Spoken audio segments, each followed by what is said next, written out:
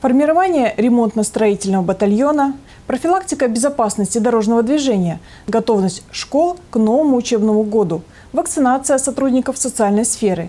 Эти и другие вопросы стали основными на традиционном аппаратном совещании руководителей администрации городского округа и подведомственных учреждений. Провел заседание Александр Баранов. Все подробности в нашем следующем материале.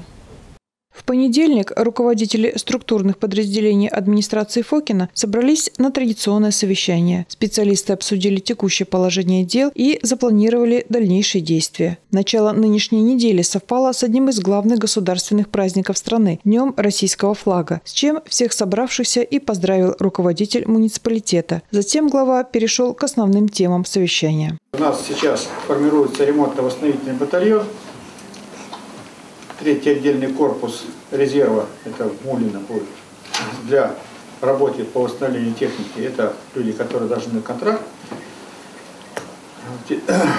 Достаточно короткий срок, а, поэтому вот мы сегодня, ну, в течение прошлой недели и этой недели должны провести работу по а, подбору и направлению данный батальон кандидатов. Бойцы этого батальона будут восстанавливать боевую технику в зоне специальной военной операции. Вступить в РВБ могут мужчины от 18 до 60 лет, вне зависимости от военных навыков, профессий и образования. Для записи необходимо обратиться в территориальный военкомат.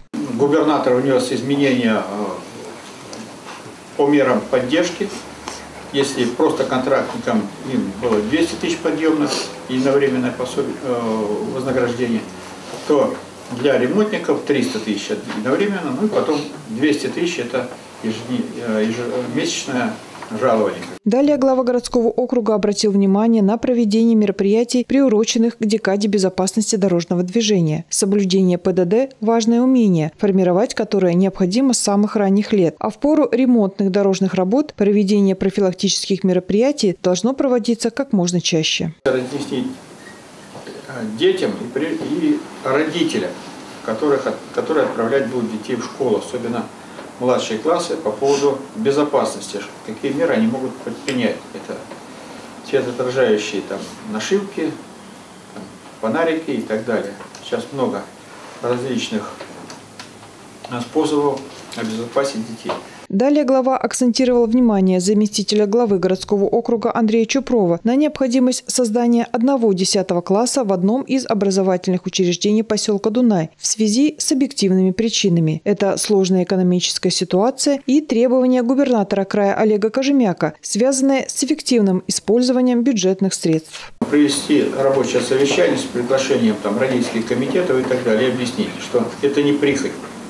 Это реальность на сегодняшнего дня. Тема готовности школ к началу учебного года стала одной из важнейших этой недели. Глава округа дал задание закончить все подготовительные работы, а в оставшиеся три дня устранять замечания надзорных органов, если такие будут. Вопрос вакцинации от новой коронавирусной инфекции, в первую очередь работников социальной сферы, стал очередным в повестке заседания. Вакцинация выходит сейчас на передний план. Все учреждения образование, ясно дело, я уже давал, ставил задачу по поводу стопроцентной вакцинации педагогов, вот, чтобы у всех были сертификаты.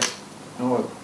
Мы, поскольку работаем во власти, работаем с населением, у нас также вакцинация обязательная, поскольку мы все работаем с людьми и не должны быть, э, служить, во-первых, разносчиками, но второе, поберечь себя и свои семьи. В завершении совещания заместитель главы администрации по вопросам ЖКХ Сергей Пуртов дал указание представителю Примтеплоэнерго привести в надлежащее состояние территорию возле Фокинской библиотеки, а также пешеходную дорожку в районе Семи Ветров. Место, где совсем скоро радостными группами школьники пойдут за знаниями.